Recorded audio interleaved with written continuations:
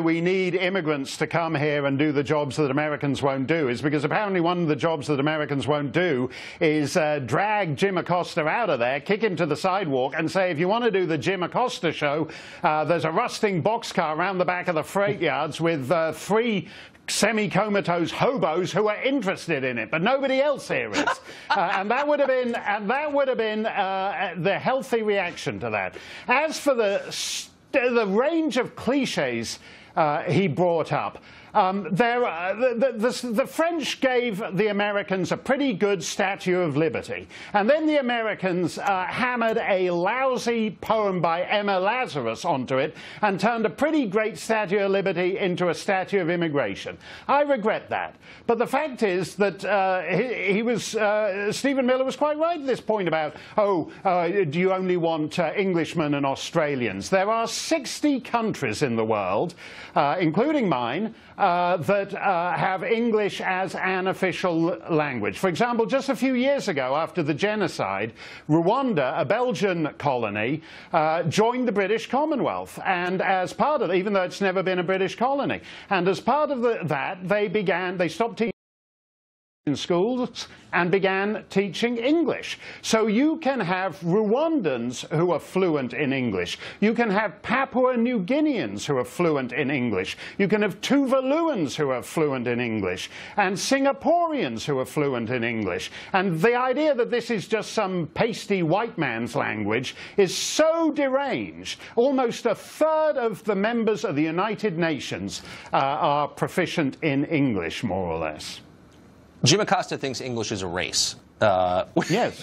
which is troubling. Yes, he does. Oh, by, what, by the way. By the, by the way, Tucker, there's plenty of people in the United Kingdom who speak Welsh and Gaelic. I was driving through the Highlands, Scottish Highlands, with my daughter, and we heard the BBC's Gaelic rap station in which uh, uh, these uh, de delinquent Scotsmen are rapping in Gaelic. So uh, I protest on behalf of the non-English speakers of the British Isles at this outrageous racism from this Acosta buffoon. if I can improve on that.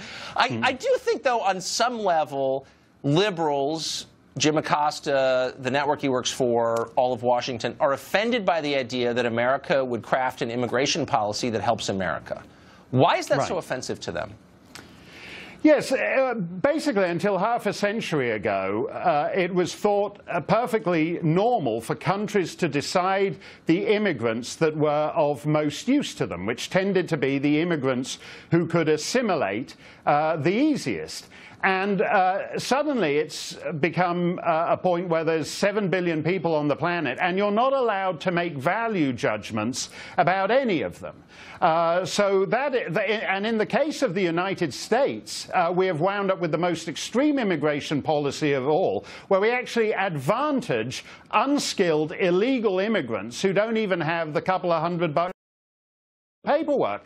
I mean, don't forget, what, what Jim Acosta is complaining about is that uh, Trump wants to move to a Canadian-style immigration policy. These are the same people who are wetting their knickers over Justin Trudeau on the cover of Rolling Stone saying, oh, why can't we have a dreamboat president like the Canadian Prime Minister? And Trump saying, well, I'll meet you halfway. Let's start with Canadian immigration policy. And suddenly Justin Trudeau is this white supremacist uh, and, uh, and, and Trump Trump is uh, trashing America, uh, America's immigration policy to turn himself into another maple-infused Ku Klux Klan moose hunting ground like Canada. This is ridiculous. the, the best thing about this debate, though, is you really do get to learn how much mm. the ruling class hates itself and hates this country. This